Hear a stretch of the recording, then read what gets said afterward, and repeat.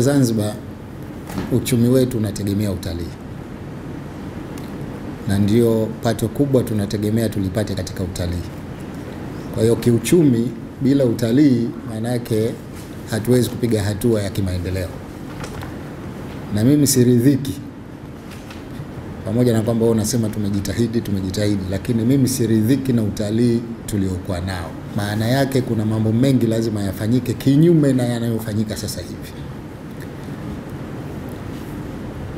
Hata idadi yenyewe tu ya watalii, idadi ya laki tano kwa nchi kama hii ni, ni ndogo sana, lakini promotion yetu kwa kiwango gani iko effective? Ningependa next time tukikutana, mniambie mafanikio, tumetoka hapa, tuko hapa, tusizungumze maneno yale yale eh, kwa sababu ukifungua kitabu utaona tunatakiwa tuna, kufanya hivi kufanya hivi kufanya hivi. Ah, lakini tunapozungumzia mafanikio ni figures. Mwaka jana tulikuwa hapa, mwaka huu tuko hapa. Mapato mwaka jana tulikuwa hapa, mwaka huu tuko hapa. It's about results.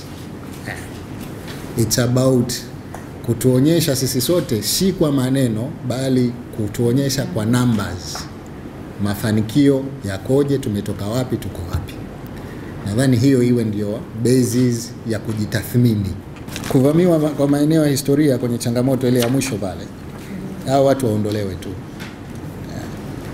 watu waondolewe, yani wala katika hili tusiwe na ile muhali muhali.